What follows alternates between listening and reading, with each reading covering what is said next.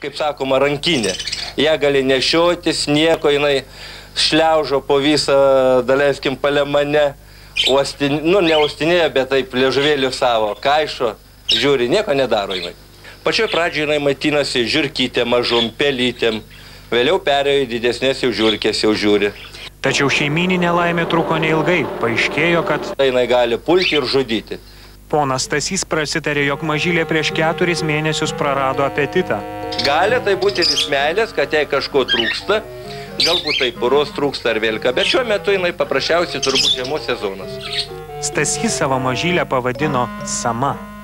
Aplamai gyvatės ir visokie tie smaugliai, jie gali smaugti tik tam, kad apsiginti. O taip už save didesnio jie niekad nepuola, tik tai gali įkasti ir pasitraukti. Šventėm po eglutę galima dovanoti mylimąjį anakondą.